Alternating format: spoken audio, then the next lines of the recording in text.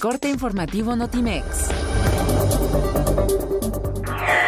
El presidente Enrique Peña Nieto presentó en el Salón Adolfo López Mateos de la Residencia Oficial de Los Pinos las acciones por la libertad de expresión y para la protección de periodistas y defensores de derechos humanos ante los crímenes cometidos contra comunicadores.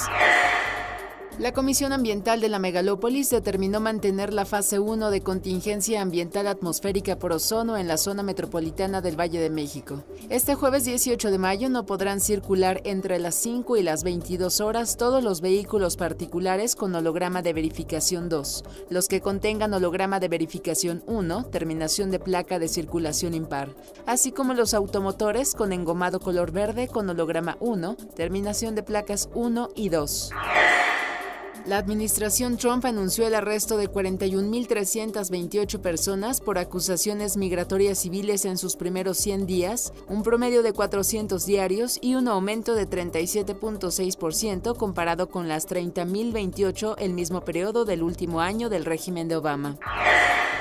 El director iraní Asghar Farhadi y la hija del actor Johnny Depp, Lily Rose Depp, inauguraron oficialmente la 70 edición del Festival Internacional de Cine de Cannes. La ceremonia rindió un homenaje al cineasta español Pedro Almodóvar, cuya carrera fue repasada con un video de algunas de las escenas de sus películas y la interpretación de Piensa en mí, banda sonora de su película Tacones Lejanos. Con la posibilidad de ser campeones de liga en sus manos, el Real Madrid mostró su mejor versión y goleó al imponerse 4 a 1 al Celta de Vigo en duelo pendiente de la fecha 21 de la primera división del fútbol español.